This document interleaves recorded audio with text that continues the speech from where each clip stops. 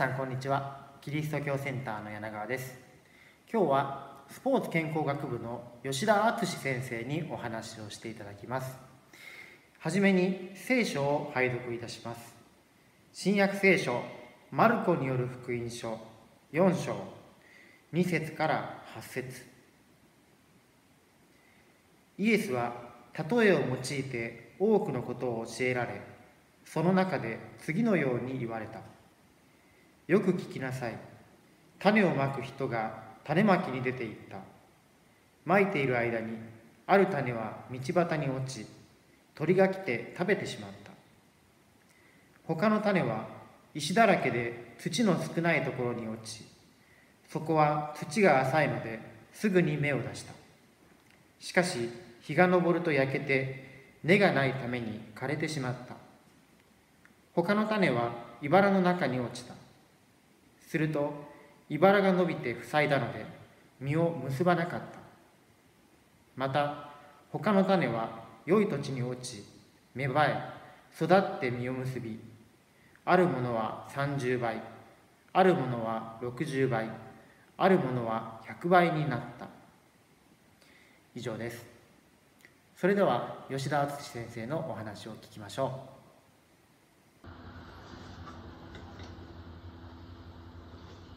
皆さんこんにちは。私はスポーツ健康学部の吉田敦です。今日は私がこれまで従事してきました教科教育の研究と教育を通して45年間の大学教員生活を振り返ってという題でお話をいたします。さて私は前職の愛知教育大学理科教育講座に1977年4月に採用されました。そこでは理科教育科学教育の教育と研究に従事してまいりました。当時当大学では教員養成課程に大学院教育学研究科を設置する準備として教科教育担当者の充当を必要とされていますいました。大学院時代に理科教育の研究をしていた私が採用されました。その当時多くの教員にとって教育学部といっても教科教育の意味を理解できるものはほとんどおりませんでした。当時の大学教員の考え方は学部でしっかり専門科目の学習をすれば教員になってから学問を優しく教えることが教員の役割と考えられていましたから教科教育の科目は専門を極めている大学教員が適当に済ませればよいという風潮でした。大学院設立で文部省現在では文部科学省ですがからは教科教育の専任教員が求められていました。さてその当時の大学教員の教科教育への認識という点では教科教育関係の学会自体は1950年代の初めから発足しております。そこはには大学教員だけではなく小中高等学校の教員も学会に参加しておりました。当時の研究の主流は教材研究であり小中学校の教員からは学校でこのような教材を使って授業を行う行うことを報告され高校と大学教員からはより高度な専門的内容を分かりやすく解説するための実験材料を開発したなどとする提案がほとんどでありました。一部の研究会例えば日本初等理科教育研究会ですがそこでは小学校理科の教材研究から授業研究までの実践的立場で発表報告会が開催されてきました。この研究会には私も積極的に参加協力してまいりました。しかしこの当時は実践主義の研究で理科教育、まあ、科学教育の理論的背景が欠如しておりました。一部の大学の理科教育研究では欧米の最先端の科学教育理論主にカリキュラムですがを紹介することがテーマでした。さて、まあ、教科教育という学問は分野は教科専門と教育学あるいは心理学の狭間にあるというあのものでございます。教科教育担当の教員は各講座の中で教科科目すなわち理科で言えば自然科学でありますが自然科学の担当者とあるいは教育学心理学担当教員の狭間で教科教育は単なる指導方法であって学問とは言えないとされていました。科学研究費補助金の申請においても科学教育を除いては他の教科教育は申請区分さえありませんでした。教科教育を教科教育学とする研究分野として認識されるために地道な努力を重ねてまいりました。また学校教員からも現場を知らない教科教育は存在意味がないとしてなかなか受け入れられませんでした。複合領域としての教科教育が成立したのは1980年代後半になってからです。科研費の申請分野として教科教育が設立さ設定されました。複合領域として設定されたので具体的な研究内容は何でもありという状態でした。教材研究児童生徒の理解指導方法授業研究評価法など各研究者が理論的実践的側面からの多種多様なアプローチが始まりました。理科教育科学教育の研究会でも小中高等学校からの実践報告が多く先行研究のレビューもなく理論に基づいた学術レベルに相当する発表は極めて稀でした。理科教育科学教育といっても学問としての知識はまだまだ未熟でした。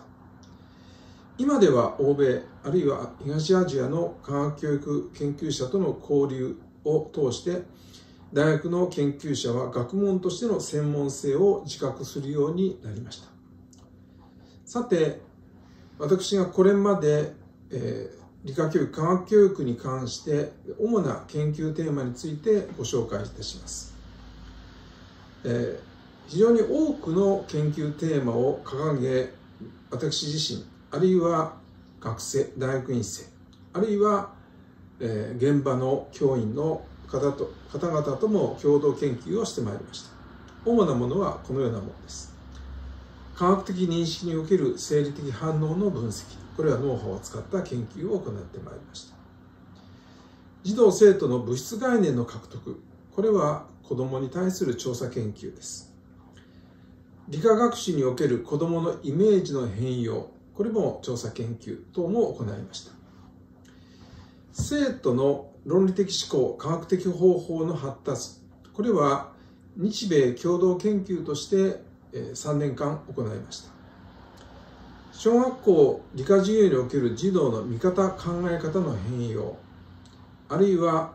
レッスンスタディこれは TIMS-R ビデオスタディとしてアメリカが中心となって行っている、研究に参加いたしまし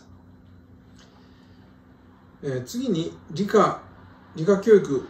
理科教員の養成制度の比較研究。これは日米の比較をさまざまな形で行ってまいりました。小中学校の理科授業の分析とその構造。これについては小学校の教員の方々と共同研究でやってまいりました。また JICA の仕事として3つを挙げております。小学校理科の教材開発と指導法の支援。これはフィリピンの方で行いました。それから高等学校理科カリキュラムの開発と教教科書作成の支援。これはカンボジアの事業として進めてまいりました。それから小学校理科数学の授業研究の推進。これはケニアで実は今年までやっております。高等学校理科におけるデジタルコンテンツの作成。これは高等学校の先生と協力しながら主に科学分野のデジタルコンテンツの作成をしてまいりました。理科教育におけるジェンダーの課題。このようなことは我が国では初めて取り組んだ課題でこれは大学院生とともに研究をしさまざまなところで発表してまいりました。東アジア4カ国の小学校理科授業の比較研究として日本、韓国、台湾、香港との共同研究も行ってまいりました、えー、理科の監査実験における安全指導これは学生の事故防止に対する意識調査を主にやってまいりました。小学校における理科授業の研究と原則教育。これは私が小学校に赴いて、えー学校の先生方と共に研究をしながらより良い授業を求めそして授業を見そしてそれについての指導助言をしてきたという研究でございます。延べで言えば40校以上を担当してまいりました。それから最後の頃には日米の科学教育研究分野の比較ということでこれは文献調査を中心としてやってまいりました。このようなものが非常に多くの研究テーマについてこれまで私は従事してまいりました。さてこれからという視点でものを申し上げたいと思います。各教科と学校教育の関連ということからお話します。これは学習者は児童生徒であり各教科が目指す方向と学校教育が目指す方向は関連し合いそして児童生徒のより良い未来を目指すことが必要だと思います。各教科の果たす役割として目的目標があり未来の社会の形成者になる児童生徒の発達を描くべきであります。そのためにはこれから10年後あるいは50年後あるいは100年後の社会で求められる質能力を探る必要があります。そこには普遍的なことだけではなく変化すべきこともたくさん含まれております。いわゆる未来の科学教育カリキュラムの開発と言ってもいいかと思います。根本的な問題として子どもの学び方の研究と指導法の改善というものに着手をしていく必要があります。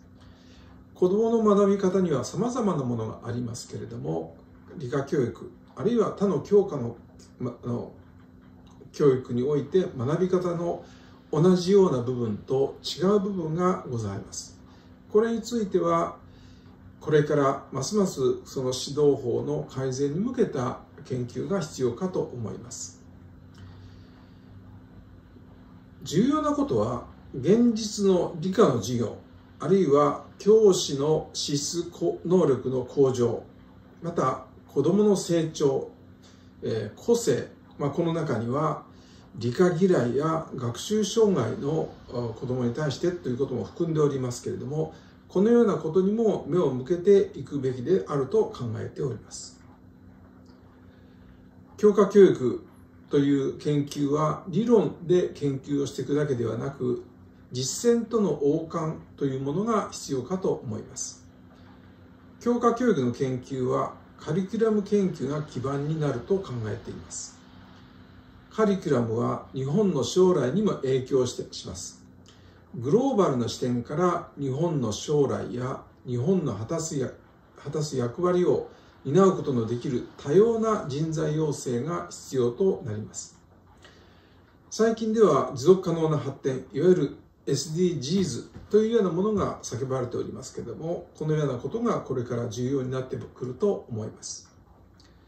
教材研究指導法の開発では学校教育に適用されるということが求められてくるでしょう。すなわち学校教育に適用されないような教材研究や指導法はなかなか受け入れられないということになります。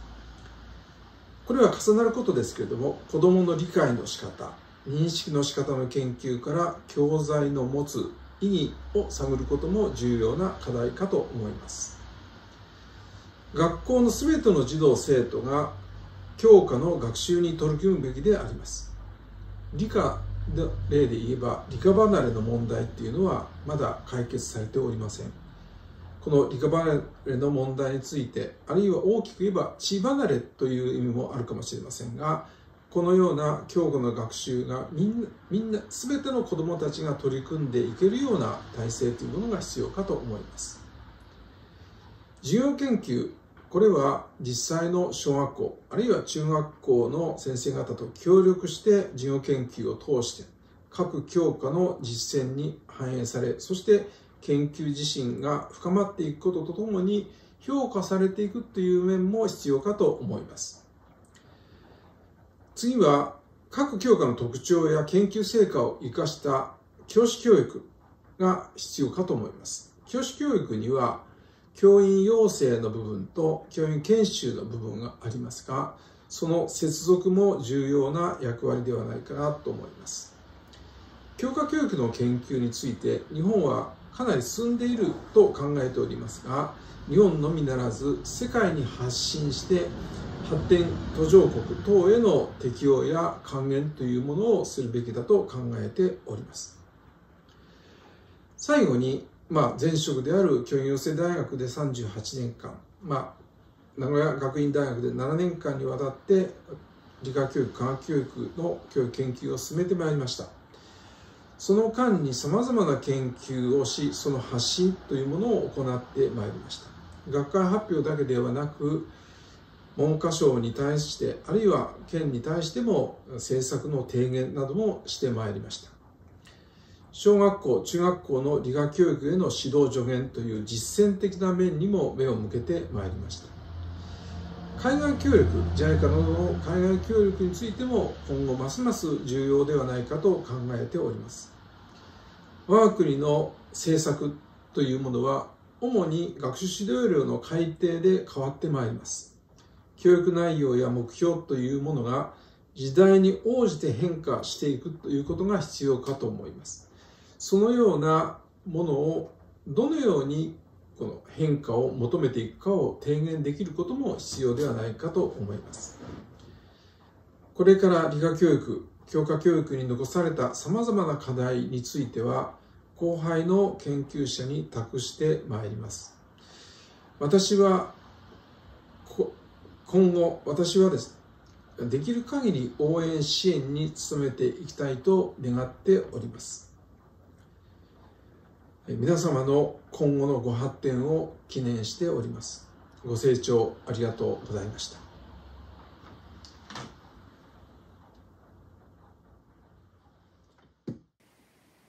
これで本日のチャペルアワーを終わります。最後にパイプオルガンの音楽を聴きながらしばらく黙祷しましょう。